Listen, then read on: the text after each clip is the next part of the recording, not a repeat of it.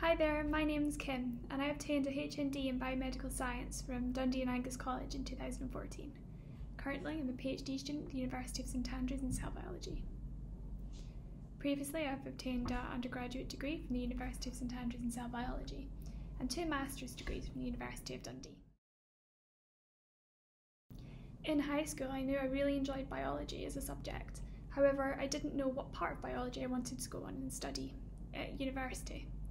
Therefore, I decided to um, attend college first to get a better idea of the different fields of biology um, and decide from there.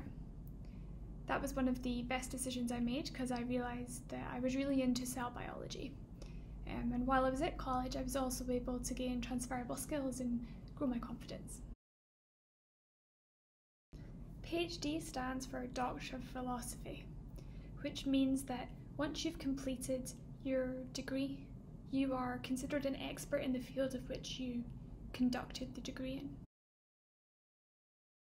Typically, a PhD lasts between three and four years and is funded through a research charity.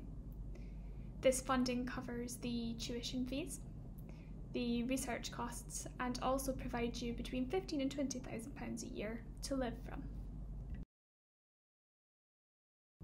I decided to do a PhD because I wasn't finished learning PhD allows you to take three to four years to really have a deep dive into a subject area that you're really interested in.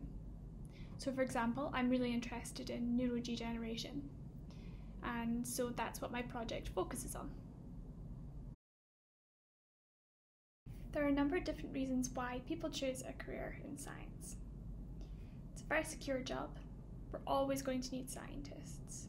For example, we're always going to need scientists who can develop new drugs and vaccines. We're also going to need scientists to innovate and invent new ways to tackle climate change.